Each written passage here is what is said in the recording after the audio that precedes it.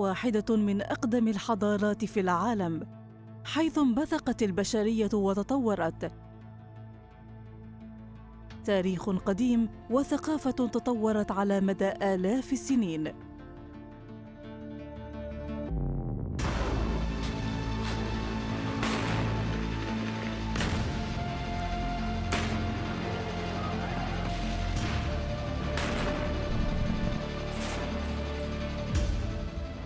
سنوات من الحرب في أرض شهدت كل تلك الحضارات التي تحولت إلى أنقاض على يد النظام السوري الذي يقيد حرية الرأي والتعبير.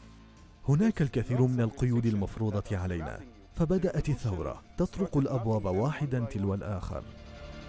الهجمات المسلحة دمرت التراث الثقافي السوري. ماذا حدث للثقافة والفن والفنانين في دولة قلما تجد لها مثيلا؟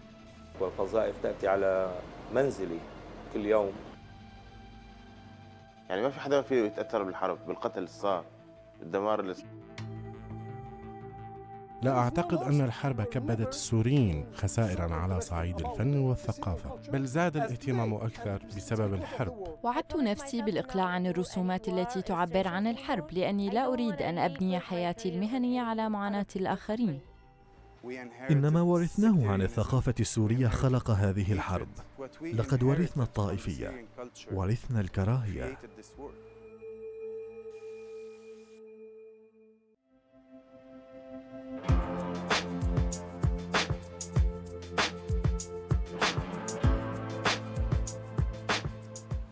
ينتقل العديد من الفنانين السوريين إلى العاصمة اللبنانية بيروت وإلى العاصمة الفرنسية باريس.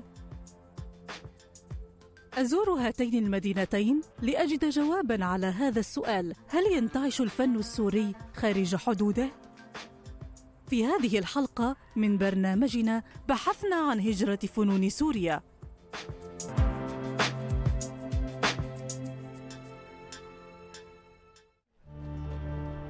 خمسة ملايين سوري أو يزيد فروا إلى بلدان أخرى رجالا ونساء وأطفالا.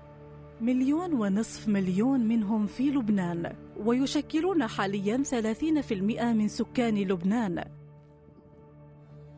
سبع سنوات من الصراع خلفت الخراب والدمار في الأراضي السورية وتم تهجير العديد من الأشخاص. ولكن ماذا عن تراثها الثقافي؟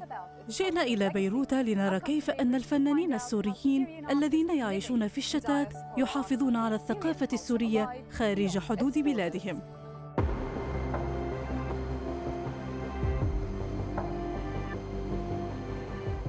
سمعان خوام رسام وشاعر وفنان جرافيتي سوري غادرت عائلته سوريا عام 1988 هربا من اضطهاد نظام البعث. لقد حاولت الفرار من اضطهاد نظام الأسد في سوريا. أليس كذلك؟ نعم ولا زلت أحاول لكني لم أنجح أبدا.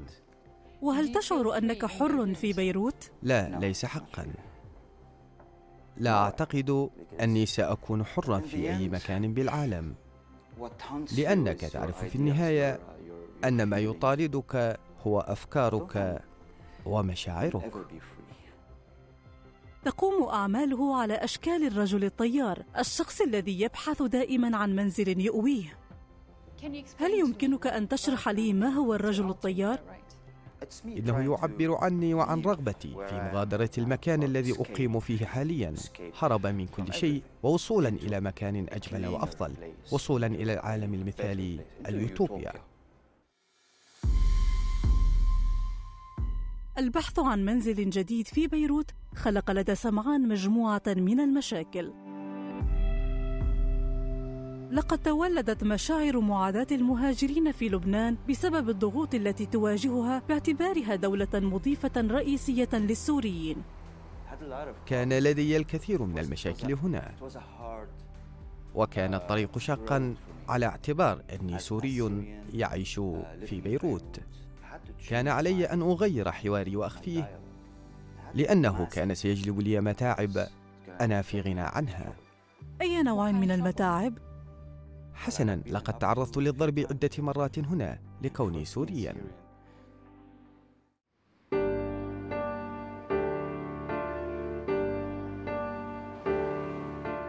هجوا اسمي فغيرنا الموضوع.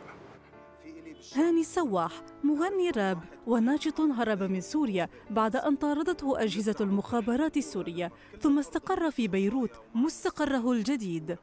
هي آخر وقعة قوم حطام بيوتنا ردم الجورة فبطلت البلد تسعنا. طلعنا نضمد روحنا البدن ما عاد وجعنا. فنسينا وبالغربة شفنا وجوه منعرفها فكرنا حالنا رجعنا.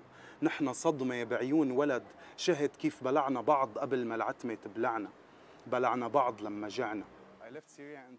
غادرت سوريا في سبتمبر 2012 لأني كنت ملاحقا من قبل المخابرات السورية بسبب مشاركتي في المظاهرات. أول حراك مدني حصل في حمص حيث شارك في المظاهرات أشخاص من مختلف الطوائف. كانت المظاهرات تضم جميع أطياف الشعب دون الاقتصار على المسلمين السنة. وهذا الأمر بث الرعب والفزع في صفوف النظام السوري.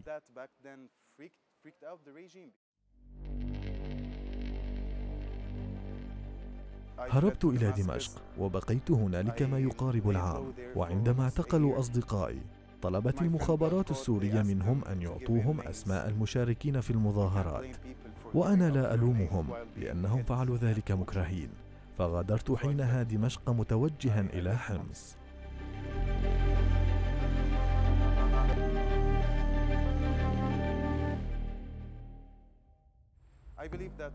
أعتقد أن الثورة تمثل إحدى السمات الرئيسية لموسيقى الراب.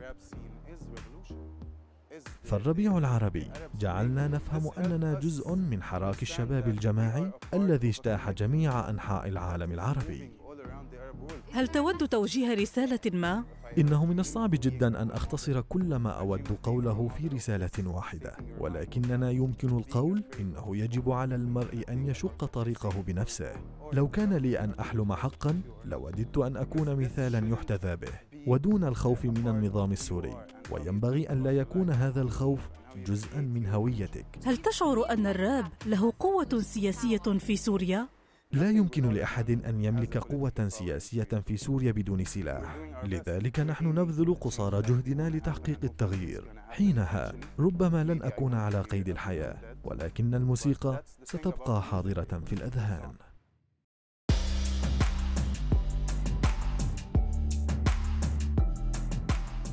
وجد الفنانون السوريون قواسم مشتركة لهم في المشهد الفني المحلي. لقد جئت إلى معرض بيروت الفني للالتقاء ببعض هؤلاء الفنانين. رممت منزل العائلة القديم اللي هو عمره 200 سنة في دمشق القديمة وهيأته ليكون آرت جاليري. نقل سامر قزح معرضه من دمشق إلى بيروت بسبب الحرب. لكنه عاد وفتحه من جديد في دمشق بالرغم من الحرب التي لا تعرف نهاية. أربع سنين آه، غياب ببيروت آه، غياب قصري الحقيقة وليس غياب اختياري بسبب الحرب والقذائف. أنا مقيم بدمشق والقذائف تأتي على منزلي كل يوم. فقررت أني آه، بعد هدوء الأجواء أني أعود لدمشق وأحيي الفن مع مجموعة الفنانين المقيمين بسوريا لم يغادروا. وأيضا عودة بعض أعمال الفنانين الذين غادروا إلى خارج البلد. Syria Art Fair 2013 أول مشروع لإلي هو يقدم الفن السوري ولاقى إقبال وتغطية عالمية وعرض الفن السوري إلى العالم لأن بهذا الوقت كانت الناس كلها عم تهتم إنه بالحرب بسوريا. فكانت وكالات الأنباء عم تحكي عن الحرب اللي عم تصير بالبلد. بالسابق بسوريا كل يوم معرض جديد وكل يوم إنتاج وجاليريات تعمل ومراكز ثقافية ونشاطات. فجأة وتوقف الجيل الجديد يرى الأعمال على الإنترنت ولا يراها على الواقع يشعر بلمسة الريشة على اللوحة. الأخيرة افتتحت مجموعة كبيرة من الجاليريات وعاودت وأقامت بنشاطات مهمة جدا بدمشق والمحافظ وباقي المدن. فكان الجو العام جميل جدا في نشاط وفي إبداع وفي حركة دائمة ويومية وتوقفت كما تحدثت سابقا في بلحظة معينة. وصارت يعني البلد بلشت فيها الحرب يعني أوكي بلش فيها الدم بلش فيها القتل يعني. الإجرام يعني صرنا نشوف بعيوننا الإجرام اللي عم يصير بالبلد فتركت البلد وأجيت على بيروت. عقيل أحمد رسام سوري يتناول تقنيات الخط التقليدي لتحويلها إلى أشكال فنية معاصرة. الفكرة إنه أنا ليش تركت البلد؟ إنه البلد راحت منها حرب يعني okay. فالحرب تأذي يعني مؤذية مؤذية لكل شيء. فهذا السبب الوحيد يعني إنه تركت البلد وجيت لهون. هذا على فكرة. يعني مجتمع كامل ممكن يتهدد. لكن ال art مستحيل يتهدد لأنه هو صورة عن المجتمع هذا. ما علاقتك بسوريا الآن؟ ماذا تعني لك سوريا؟ سوريا ذاتي يعني سوريا أنا يعني احساسي مشاعري فني كله سوري يعني أنا حتى حتى حتى بداخلي أنا ما بحس موجود دم يعني بحس موجود فرات على الوجه بحس مثلا إنه أحجار الشام كلها روحي يعني داخلة بقلبي يعني. ما أنا ما يعني حتى يعني حتى ممكن كل شريحه بشبه بحياتي يعني. أنا خايف من الرجعة صراحة يعني. أنا خايف أرجع على البلد شوف الشام غير شوف حلب غير شوف حمص غير شوف حما غير شوف دير الزور غير. إنه الناس وين يعني؟ بيوت وينها يعني؟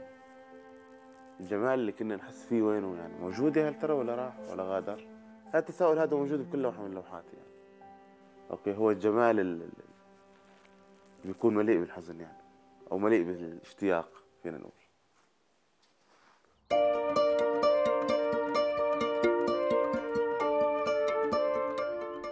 معرض أيام هو معرض للفن المعاصر.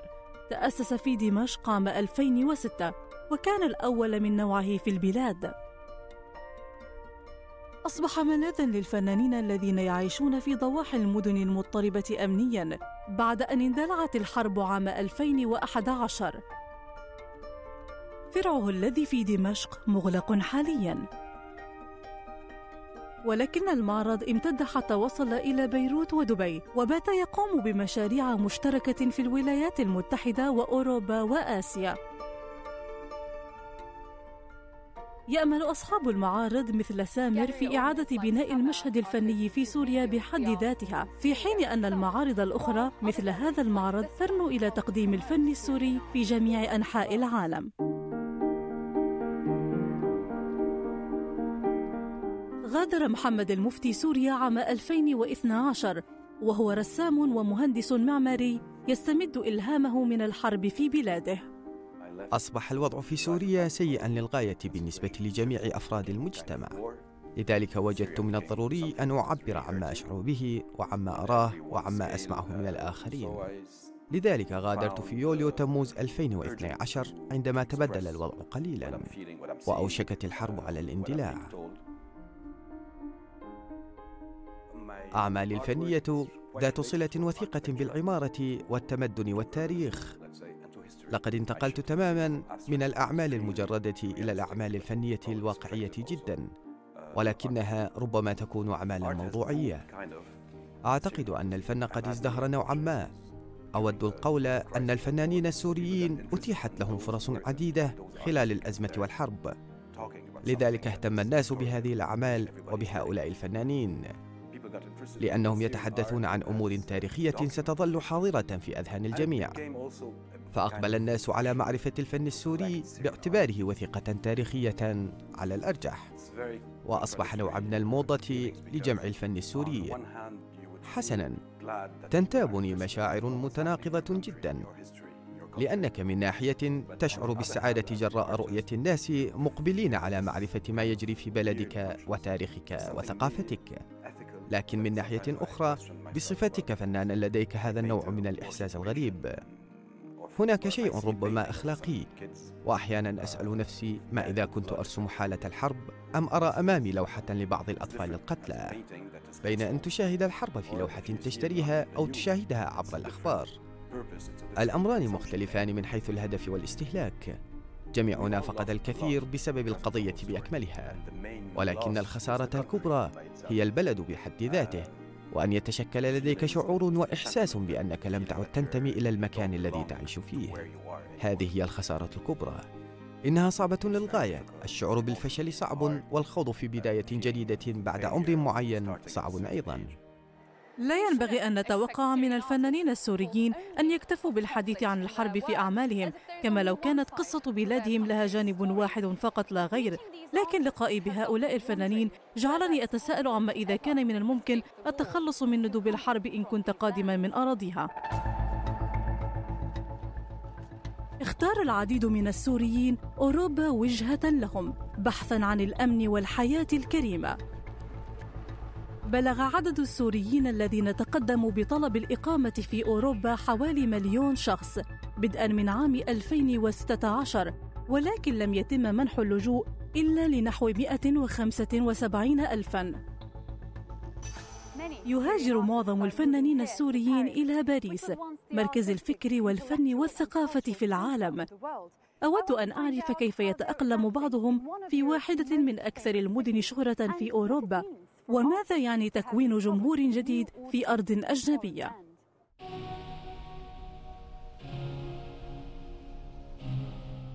حصلت ديالا بريسلي على حق اللجوء في فرنسا فانتقلت إلى باريس مغادرة بيروت التي تعرضت فيها للتمييز العنصري على حد قولها إنها رسامة كاريكاتورية والناشطة شاركت في الثورة السورية منذ بداياتها في لبنان يسألونك دائما عن دينك واتجاهك السياسي وما أن يعرفوا أنني مجرد ناشطة حتى يسموني داعش. فالسوريون في نظرهم إما من نظام بشار الأسد أو من تنظيم داعش ولا يعترفون بوجود الثورة السورية. فكان هذا الوضع صعبا جدا بالنسبة لي وحتى بالنسبة لأصدقائي. اندلعت المظاهرات عام 2011 عندما كنت في سوريا فشاركت فيها على الفور وكنا نقوم بإعداد المشافي الميدانية. وبحلول عام 2013 ازداد الوضع صعوبة وامتلأت دمشق بنقاط التفتيش ولم أعد أشعر بالأمان فقررت الرحيل. ما جرى في سوريا أحدث تغييرا في أعمالي الفنية على عدة مستويات. أولا وقبل كل شيء غير أسلوبي. الأمر أكثر خطورة لأنني أتحدث عن أشياء درامية للغاية وتحدث في سوريا. عندما بدأت في عمل الرسوم التوضيحية استعملها الصحفيون كبدائل لدعم تقاريرهم. ثم أصبحت فنانة في الجرافيك الإعلامي. هل تعرضت لمضايقات بسبب عملك السياسي في سوريا؟ لا لم أتعرض في الواقع وأنا محظوظة بهذا الخصوص. لا الفن ولا عملي في الإمدادات الطبية جلب لي المتاعب والمضايقات. كنت أعلم أن هناك تقريرا بحقي لكن لم يحدث شيء. ولكن قبل ذلك أي بين عامي 2011 و 2012 كنت أعمل تحت اسمي المستعار لويس بريسلي.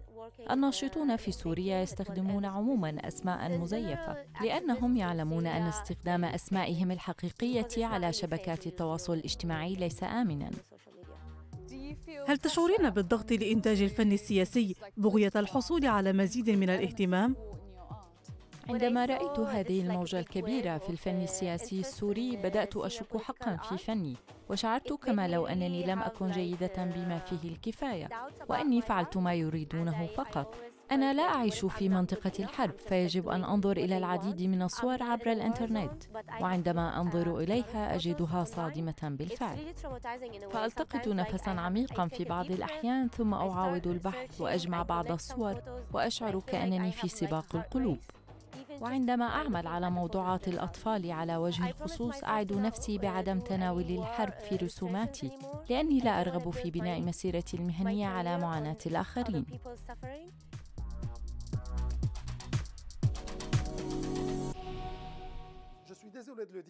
هذه الحرب كانت فرصة لي وللكثير من الفنانين السوريين وكذلك كانت فرصة للفن والثقافة.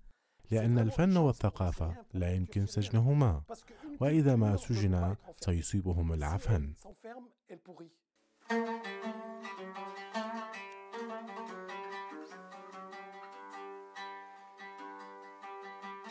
فواز بكر هو موسيقار ومهندس سوري يعتقد أن الثورة في سوريا والربيع العربي كان فرصة ضائعة. يؤسفني أن أقول إن الربيع العربي حقيقة لم ينتج لا موسيقى ولا حركة ثقافية لأن القضية في نهاية الأمر هي قضية الهوية وأفضل طريقة لتكوين الهوية يتمثل في بنائها لا في الحفاظ على الهوية الموجودة سابقا. إنه يشعر اليوم أنه يعيش تحت شكل آخر من الدكتاتورية.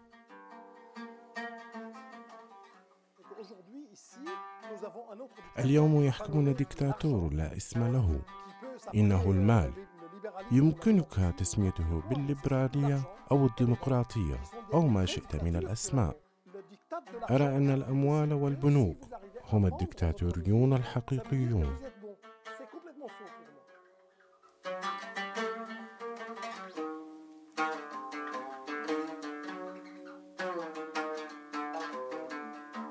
لدينا فنانون استفادوا من الحرب على الرغم من أنهم موالون للنظام. من جهة أخرى الفنانون الآخرون استفادوا أيضا.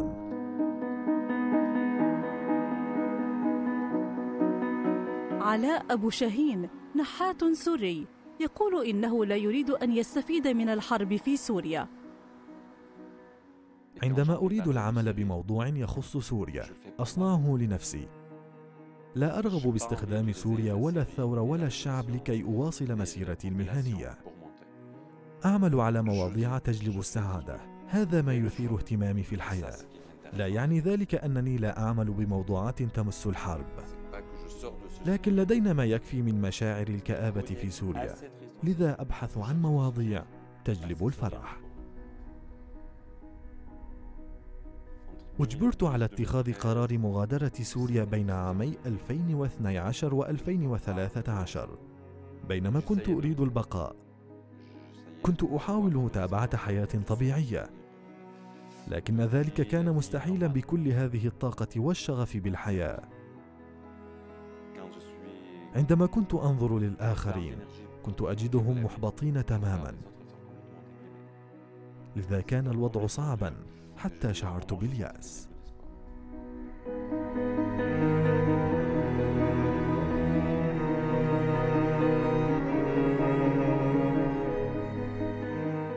أقوم بتصور التماثيل والرسوم الغريبة نوعا ما في مخيلتي. أشكال تبث شيئا من البهجة وقليلا من الضحك لأن ذلك هو الشيء المفقود في الحرب. أنا محبط بما فيه الكفاية. إننا مختلفون وحزينون بما يكفي. الدور الذي اخترته لنفسي في هذا الصراع هو النقد. وأن أكون مبدعا قليلا في النحت لكن بتمثيل السعادة بطريقة ما. نحن السوريون. نعم لدينا حرب والكثير من المشاكل. لكننا لازلنا قادرين على الابتسامة. بل علينا أن نبتسم ونتطلع لبهجة الحياة.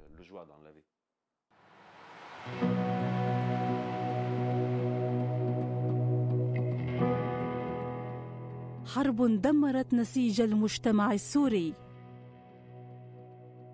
الفن له دور رئيسي في بناء السلام. يحاول الفنانون السوريون إعادة بناء حياتهم والحفاظ على ثقافتهم حية في بلدان أخرى.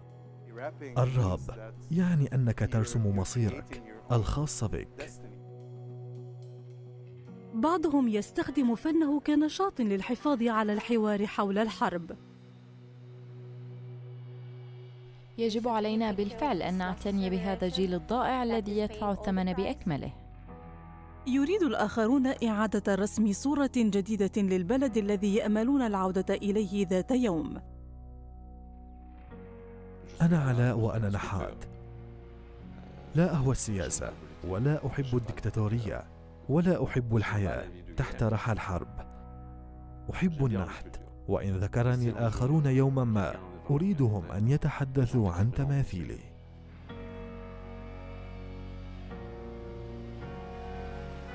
أجبر الفنانون السوريون على مغادرة بلادهم التي دمرتها الحرب لكنهم حاولوا الحفاظ على ثقافتهم خارج حدوده ورغم أنهم واجهوا العديد من الصعوبات والتحديات فإنهم عملوا على إثراء الحياة الفنية في المدن التي قصدوها فضمنوا تألق الفن السوري في جميع أنحاء العالم رغم الحرب التي تعيشها ثقافتهم.